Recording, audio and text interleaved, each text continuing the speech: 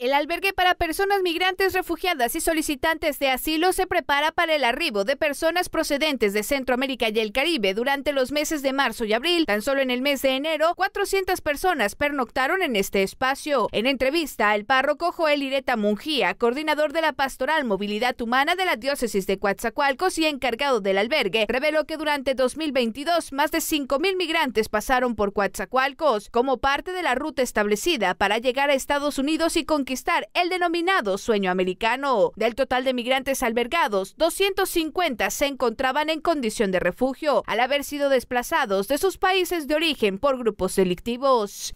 Es invitarles a que ellos puedan palpar la realidad, el, poder bajarse de, las oficinas, el poder eh, constatar pues la situación de, de los migrantes que vienen en el camino, la situación tanto de hambre, y, esto provoca muchas, muchas cosas.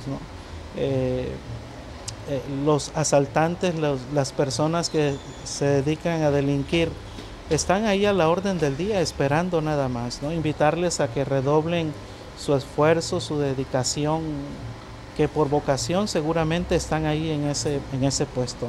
El padre lanzó un llamado a las autoridades gubernamentales y migratorias para ejecutar políticas públicas en favor de las personas en tránsito. Ireta Mungía aseguró que desde el 2022 se comenzó a observar una baja considerable en el número de menores viajando sin compañía. En lo que va de este año, no hay ni un solo caso registrado. Vienen mujeres acompañadas con sus esposos, eh, la gran mayoría, y los niños los traen también las mamás por lo menos, ¿no? Y ahorita hay un caso de un papá que trae a su niño, él, viene solo con su niño y, su, sobrino. Y, bueno, es una situación muy difícil, ¿no? El, separarse, el separarse del núcleo familiar de, de, la familia, el decir nos vamos a adelantar y llegamos y mandamos por ti, ¿no?